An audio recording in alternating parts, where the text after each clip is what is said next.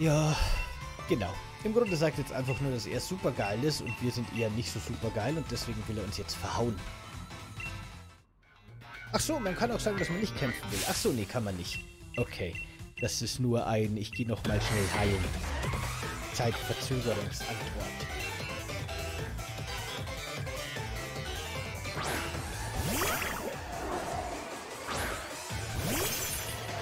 Ist das eigentlich gerade so eine Zelle in der, in der, in der Zellteilung gefangen?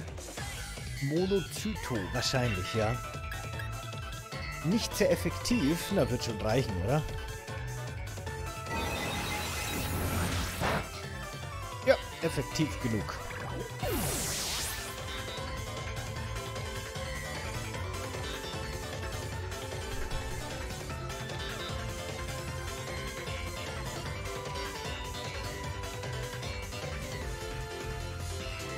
Hey, ich sehe gerade, irgendwie hat meine Anzeige vorher überhaupt nicht funktioniert. Aber falls ihr noch dabei seid, an Dark Official Schlaftablette und Pepple Pepper, danke fürs Followen und schön, dass ihr mit dabei seid. Ich habe es vorher gehört, aber mir hat es nicht an, nichts angezeigt und plötzlich macht es plopp und zeigt mir jetzt die Events der letzten Stunde oder so.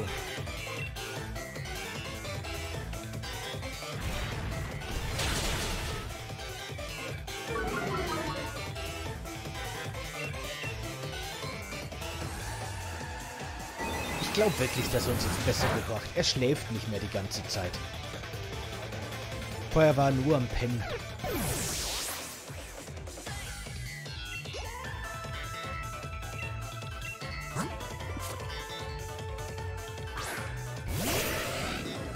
Ponita. Ach ja, ich wollte gerade sagen, Ponita passt jetzt gar nicht zu seinen Pokémon, die er hat. Aber das Ponita ist ja, glaube ich, auch jetzt ein Feen-Ponita, die Version. My Little Ponita ist es jetzt.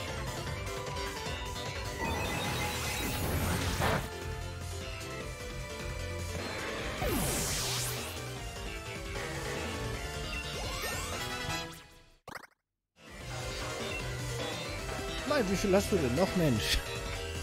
Nach jedem Pokémon habe ich mir gedacht, so, das wäre geschafft, jetzt schauen wir, was wir im Wundertausch kriegen. Und dann hat er noch eins auf Lager.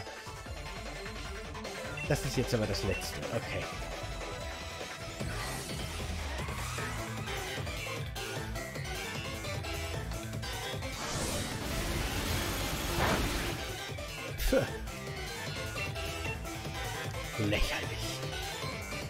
Leider hat jetzt unser Käfer keinen Bock mehr auf Kämpfen, merke ich so.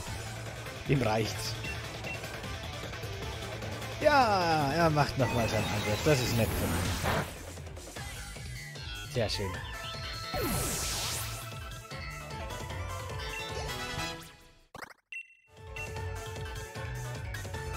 Hm, Nee, kein Mensch braucht Erholung.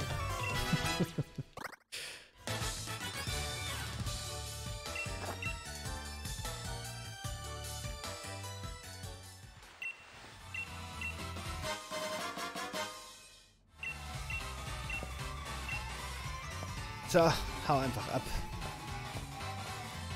Keiner mag dich. Die Suche läuft immer noch. Schade. Ich würde jetzt gern den nächsten Wundertausch, bevor wir wieder kämpfen, aktivieren. Solange rotiere ich.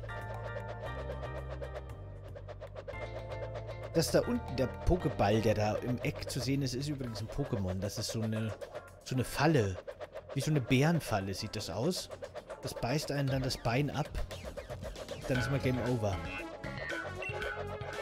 Oder so ähnlich. So, Gummiente, mach's gut. Gummiente kommt jetzt zu Yuki. Schauen wir mal, was Yuki uns dafür gibt.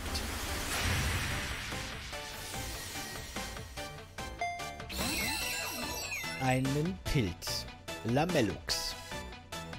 Der ist aber, glaube ich, eine Entwicklungsstufe von irgendwas. Der muss hochleveliger sein. Das ist kein Level 1er.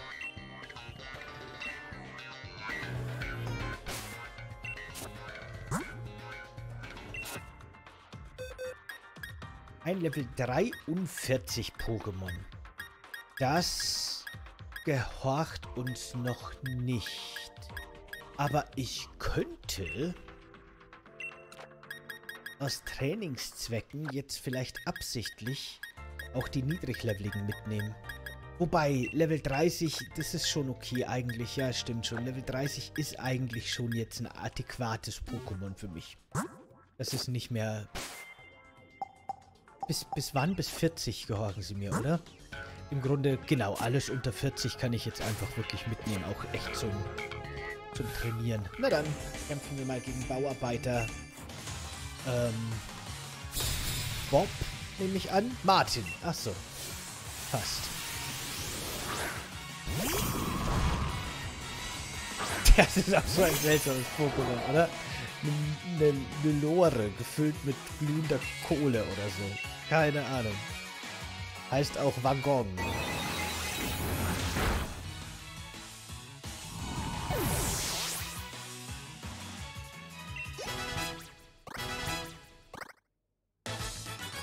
Ach, da hatte sonst nichts. Nur sein Waggon. Ist die Kohle fest mit dem Pokémon verwachsen oder kann man die rausnehmen und irgendwas anderes da hinten reinschaufeln? Frage ich mich. Uh, das war knapp.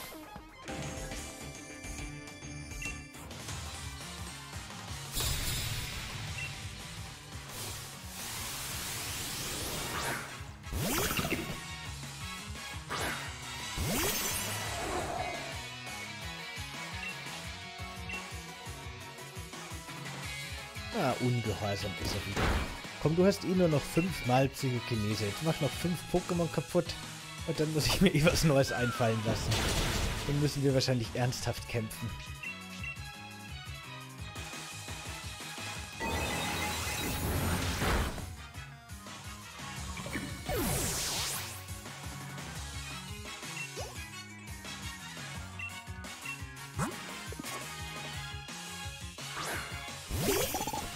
Noch ein Praktibalken. Sehr schön. Bei denen gibt es 10% auf alles außer Tiernahrung. Ich meine natürlich Pokenahrung wahrscheinlich. Bitte mach bitte eine Psychokinese. Danke. Oh, bitte mach Psychokinese. Das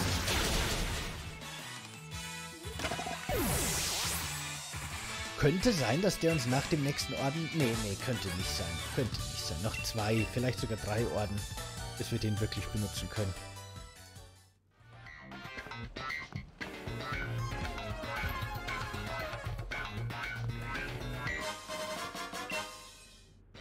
Klaue. Ah, Genial schon wieder.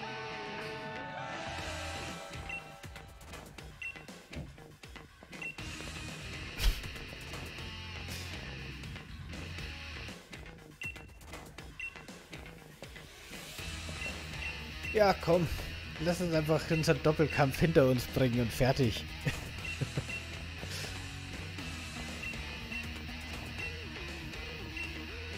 okay, die streiten jetzt im Grunde nur, wer cooler ist und von wem wer Fan ist und so weiter. Mehr ist da inhaltlich nicht in diesen Dialogen mit Team Yell.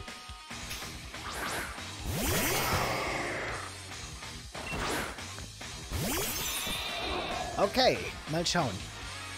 Mal schauen, ob mein Käfer... Oh, oh, wirkungslos. Oh, oh. Moment mal, das kann doch nicht gegen beide wirkungslos sein. Doch, kann es. Na dann. Was mache ich denn dann? Wen schicke ich ihn rein? Traue ich mich? Traue ich mich jemand anders? Ich traue mich. Level 25 muss reichen. Doppelkampf ist immer gefährlich. Könnte sein, dass mich beide jetzt angreifen. Und dann hat man immer gleich ein Problem. Okay, Sandwirbel ist lästig, aber zumindest nicht tödlich. Und Rutenschlag ist mir komplett wurscht.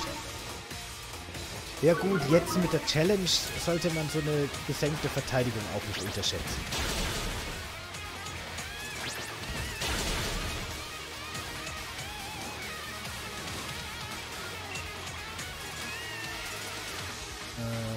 Was ist seine stärkste Attacke einfach nur? Die hier hat immer noch 100% Genauigkeit und nimmt die Beere, falls eine vorhanden ist. Na dann.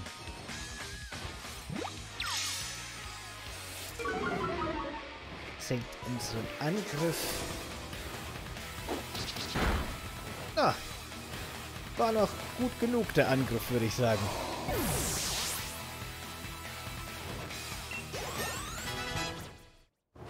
Was erst Hop verprügeln, kann man das machen? Oder wie? Und dann kämpft man alleine gegen die beiden. Geht das wirklich? Ist das wirklich eine Option? Äh, was hauen wir denn raus? Weißnebel.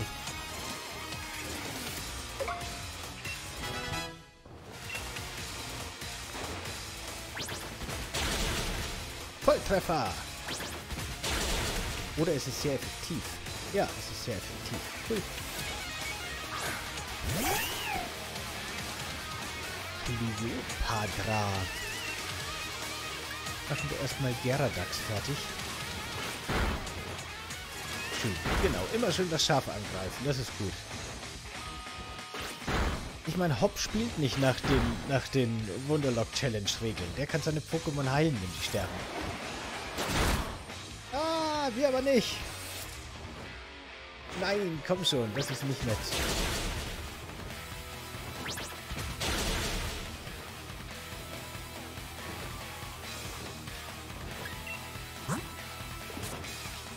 Ah, ich nehme ihn lieber raus.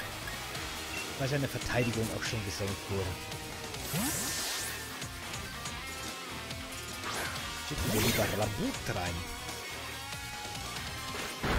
Hey, nicht Rabut angreifen. Unfair.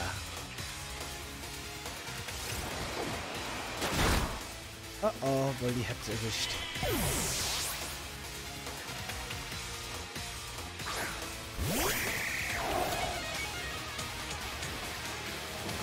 So. Okay. Ähm. Kann jetzt mal irgendjemand Geradax fertig machen? Der ist so gut wie besiegt. Das gibt's ja noch nicht. Dankeschön.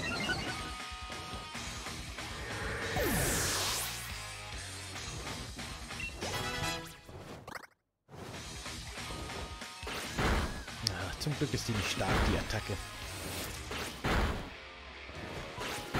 Ja, wenn man so oft trifft, es doch gefährlich.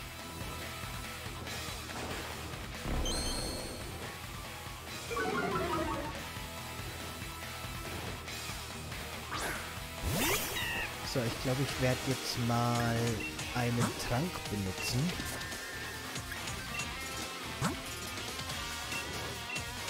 Vorsichtshalber.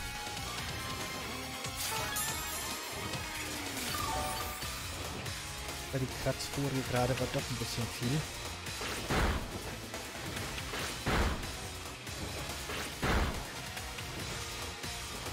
Es ist schon cool, diese Challenges. Man spielt halt einfach ganz anders. Ich meine, wir haben jetzt den Super Mörderkäfer bekommen.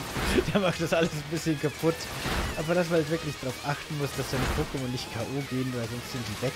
Das ist schon echt cool eigentlich. Und dass man auch keine neuen fangen darf. Natürlich. Das macht schon interessant auf jeden Fall. Nee, komm, jetzt können wir einmal angreifen, würde ich sagen.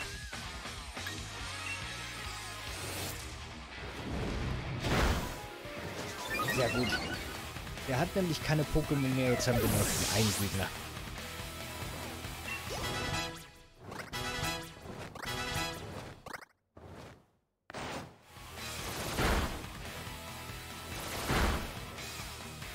Der Pam Pam. Oh Gott!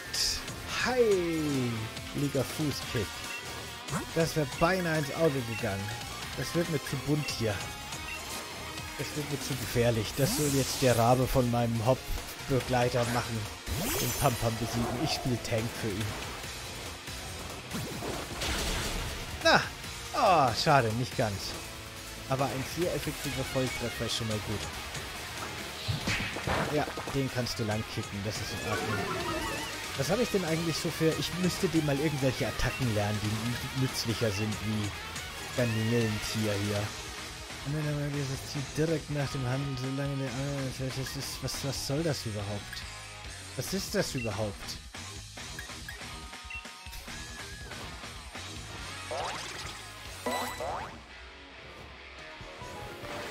Ah ja, tatsächlich. Ich kann da meinen Verbündeten dazu bringen, dass er sofort angreift und nicht erst warten muss. Na, immerhin. Dann macht das für Doppelkämpfe ja sogar Sinn.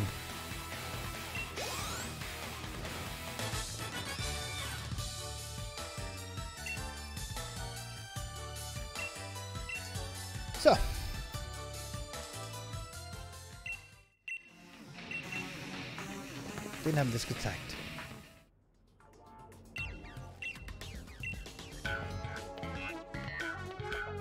Diesmal heilt er nicht mal unsere Pokémon, oder wie? Was für ein Arsch. Was für ein Egoist. Ach so, doch. Okay, danke. Schauen wir mal, dass wir hier rauskommen, ohne noch, einen, noch ein Pokémon zu provozieren.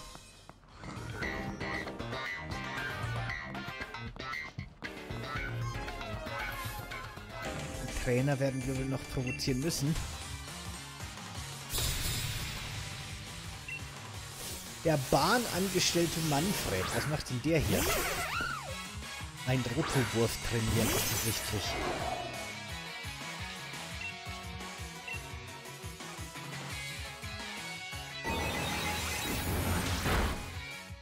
Kablamo. Es ist so cool, wenn der seine Psychokinese einfach macht. einfach protestlos seine Psychokinese macht. Es ist so schön. Und alles One-Hit-Kill. Ein Onyx! Er hat beneidigt den Bahnangestellten schon ein bisschen, muss ich sagen. Ein Onyx hätte ich auch gerne. Das ist schon ziemlich cool.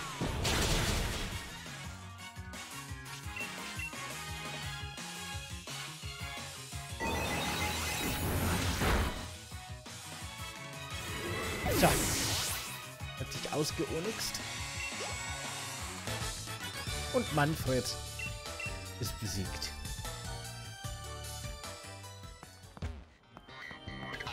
Finde ich gut. Dann nehmen wir noch Sandgrab mit. Ich könnte echt mal schauen, ob unser Käfer... Das mache ich jetzt schnell. Vielleicht kann unser Käfer irgendwas von den TMs lernen, damit der ein paar andere Angriffe hat, außer nur diese 10 Psychokinese. Was haben wir denn da? Gegenstoß. Der Anwender lädt die Attacke auf. Finde ich nicht gut. Sternschauer. Ach, Sternschauer. Ich meine, Sternschauer trifft immer. Das ist aber kann er gar nicht lernen, hat sich schon erledigt. Nee, das Einzige, was er lernen kann, will ich ihm nicht lernen. Dann, dann halt nicht.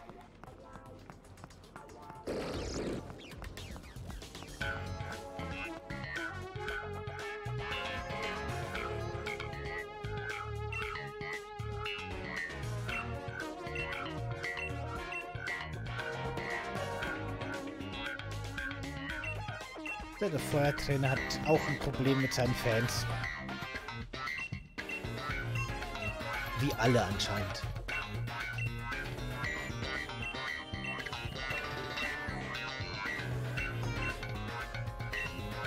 So. An den konnte ich mich ehrlich gesagt jetzt gar nicht mehr erinnern. An alle anderen Trainer schon. Den habe ich irgendwie komplett vergessen. Aber der joggt halt auch den ganzen Tag nur komisch rum und hat Feuer-Pokémon.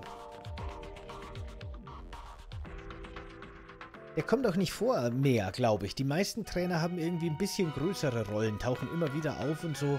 Der glaube ich nicht wirklich, oder?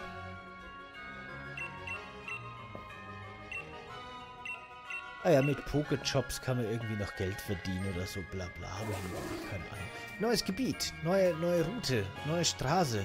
Wo sind wir denn jetzt? Lass mich mal auf die Karte gucken. Ähm... Was ist denn das? Energieostrand. Was? Engine, Engine Ortsrand. Ach so. so heißt die Route hier. Das ist Engine Ortsrand. Okay. Von mir aus. Dann muss ich mal kurz das in die Liste eintragen. Moment. Dass wir jetzt in Galamine 2 Galamine 2 haben wir jetzt quasi unser Pokémon auch schon gefangen.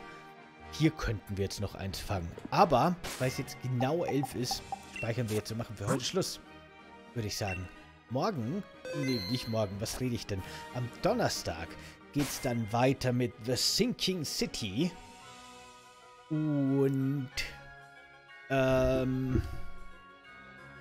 Ja, am Dienstag dann auch wieder. Pokémon, die Pokémon Challenge geht dann erst übernächste Woche, übernächsten Dienstag quasi wieder weiter. Bis dahin ist jetzt erstmal wieder The Sinking City angesagt. da geht's dann... Genau, wir sind gerade dabei, den Fall von dem vergifteten Fisch zu lösen. Beziehungsweise müssen wir jetzt dann die Einwohner oder die Verteiler des Fisches erstmal warnen, dass der vergiftet ist. Das alles am Donnerstag dann um 19 Uhr. Ja, vielen Dank fürs Zusehen. Ich hoffe, euch hat's gefallen und eine schöne, gute Nacht wünsche ich euch jetzt noch. Macht gut. Ciao.